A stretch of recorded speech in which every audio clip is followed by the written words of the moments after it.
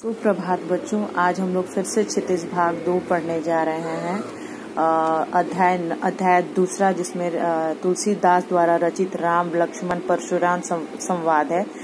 इसके पहले हम लोगों ने पढ़ा था कि, कुछ शीर्षक हमने पढ़ा था कि इसमें, कि राम और लक्ष्मण राम और लक्ष्मण से परशुराम का किस प्रकार संवाद होता है और किस प्रकार दोनों में एक दूसरे से संवाद करते हैं और एक दूसरे से बहस हुई है इसमें। जिसमें राम ने जब धनुष तोड़ा है तो परशुराम वहाँ क्रोधित होकर आए और उन्होंने कहा है किस इसे इस धनुष को किसने तोड़ा और किसकी हिम्मत हुई है? किस इस इस धनुष को तोड़े जो शिव शिव जी द्वारा दी गई थी? हम लोगों ने अभी तक जो पढ़ाई की थी, उसके बाद से हम लोग अब ये पढ़ने वाले हैं जो दूसरा पद है, तुम तो कालू हाक जनु लावा बार बार मोहिलाग बुलावा। सुनत लखन के वचन कठोर, परसु सुधारी धरेकर भोरा तुम तो कालू हाक जन लावा। इसका मतलब ये हुआ कि लक्ष्मण कहते हैं कि आप तो बार बार मुझे काल को हाक लगाकर पुकार कर मुझे बार बार मुझे बुला रहे हैं।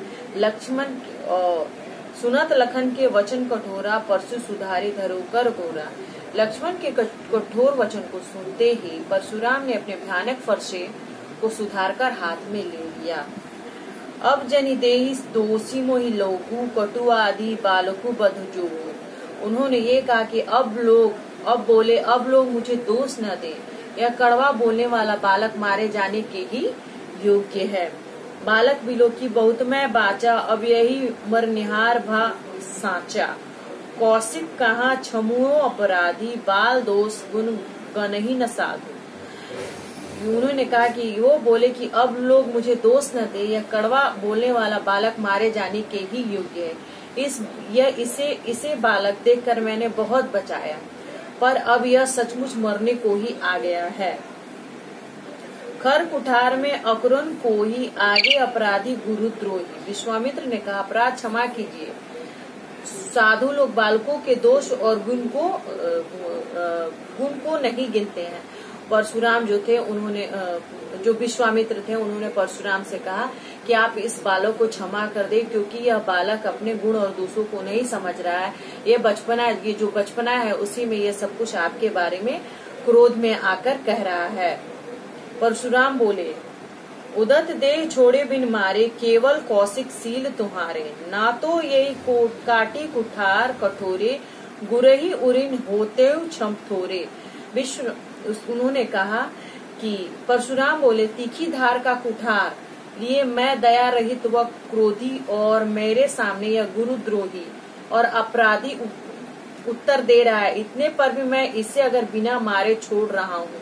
हे विश्वामित्र, केवल तुम्हारे सील के कारण ही। नहीं तो इसे इस कठोर की कुठार से काटकर थोड़े ही परिश्रम से गुरु से उऋण हो जाता। गधासु न नु क हृदय हसी मुनि हरियरे सूज अयमय खाड़ न उखमय अजहु न बूझ अबूझ। विश्वामित्र ने हृदय में मन ही मन में हंसकर कहा मुनि को हरा ही हरा सूझ रहा है किंतु यह फौलादी खाड़ है गन्ने की खाड़ नहीं। मुनि अब भी बेसम, बेसमझ बने हुए इनके अभाव को नहीं इनके प्रभाव को नहीं समझ रहे हैं। भाव यह है कि मुनि परशुराम श्री राम लक्ष्मण का साधारण क्षत्रिय बालक ही समझ रहे हैं। वे उनकी असीम शक्ति व वीरता से अपरिचित है। इसी कारण उन्हें तुच्छ समझने की भूल कर रहे हैं। परशुराम परशुराम ने कहा विश्वामित्र मन ही मन सोच रहे हैं। ये इस बालक को नहीं समझ रहे कि ये कोई साधारण बालक नहीं, ये एक क्षत्रिय बालक है, जिसने असीम, जिसके पास असीम शक्ति और वीरता है। इसी कारण इसे तुच्छ समझने की भूल कर रहे हैं। आगे इस संवाद में बताया गया है कि कहे लखन मुनिशील, तुम्हारा कोई नहीं जान वितत संसारा। माता पिता ही उड़ने नहीं के गुर ऋणु रहा सोच बड़ जी के लक्ष्मण ने कहा, हे मुनि, आपके सील को कौन नहीं जानता? वह संसार भर में प्रसिद्ध है। आप माता पिता पिता से तो अच्छी तरह ऋण हो ही गए हैं। अब गुरु का ऋण रहा, जिसकी, जिसका जी में बड़ा सोच लगा है। सो जन हमरे हूँ माथे काढ़ा, दीन चली गए ब्याज बड़ बाड़ा अब आनन व्यवहारों बोली, तुरंत देऊ मैं थैली खोली। वह मानो हमारे ही सिर निकाल रहा था। बहुत दिन बीत गए इसलिए ब्याज भी बहुत बढ़ गया होगा। अब किसी हिसाब करने वालों को बुला लीजिए। मैं तुरंत थैली खोलकर दे दूँगा। अब आ, सुनी कोटि वचन कुठार सुधारा। हाय हाय सब सभा पुकारा। भृगबर परसु देख बहु मोही। विप्र विचारे पंचु नृप दोही। मिले न कबहू सुभट न गाढ़े। द्विज देवता घर ही के बाढ़े। अनुचित कही सब लोग पुकारे, रघुपति सैनी, लखनऊ नेवारे। उन्होंने कहा कि बहुत, उनका इसलिए ब्याज बहुत बढ़ गया है। अब किसी हिसाब करने वाले को बुला लीजिए, मैं तुरंत थैली खोल कर दे दूँगा। लक्ष्मण के कटु वचन को सुनकर परशुराम ने कुठार संभाल लिया। सारी सभा में, सारी सभा हाय हाय कर पुकार उठी। लक्ष्मण ने कहा, हे भृगु श्रेष्ठ आप मुझे फरसा दिखा रहे हैं, परंतु हे राजाओं के शत्रु, मैं ब्राह्मण समझकर आपको बचा रहा हूँ। आपको कभी रणधीर, बलवान और वीर नहीं मिले। हे ब्राह्मण देवता, आप घर में ही बड़े हैं। यह सुनकर सब लोग अनुचित हैं, कहकर पुकार उठे। लखन उतर आहुति सरिस, भृगु वर को कृषाणु, बढ़त देख जल सम वचन बोले रघु क्रील रघुकुल भानु। यह सुनकर सब लोग अनुचित होकर कहकर पुकार उठे। अब तब रघुनाथ ने इशारे से लक्ष्मण को रोक दिया।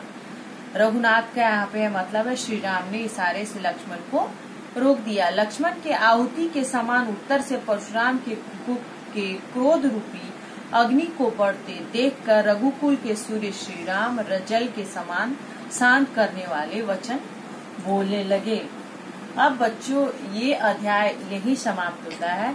इसमें राम, लक्ष्मण, परशुराम संवाद में जो राम और लक्ष्मण द्वारा परशुराम के साथ संवाद हुआ है और उसमें जो विश्वामित्र ने उनके बीच सुलह करवाने की कोशिश की और और लक्ष्मण लक्ष्मण को उन्होंने बहुत ही बचाने की कोशिश की। इस प्रकार यह, इसे पाठ को पढ़े और समझे और यह पाठ बहुत ही कठिन है बच्चों, इसलिए आप इसे ध्यान से पढ़ें और समझें।